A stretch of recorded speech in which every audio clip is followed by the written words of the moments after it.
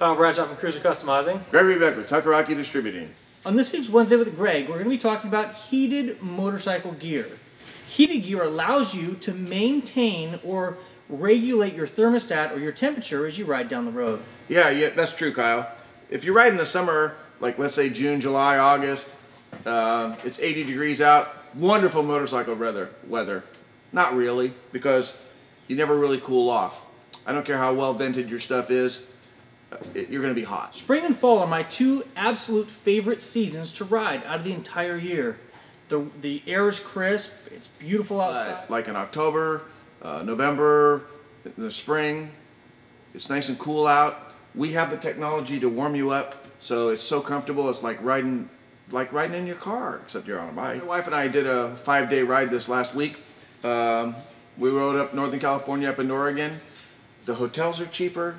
They're not crowded. Uh, like Kyle says, the, uh, the, the trees are just awesome. The rivers are running, fun, but it's cool out.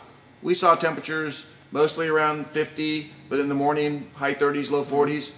But with the warm and safe, plug in, turn it on, adjust it, we were comfortable. More than comfortable, it was it was fun. Now here in Northern California, we've got lots of mountains and valleys and things of that nature. When we rode to Yosemite two weeks ago, extremely chilly when we got up top. It was roughly 40 degrees or so when we were at the top of uh, Tioga Pass. Brooke had her thermostat. She turned it up a little bit. Super comfortable.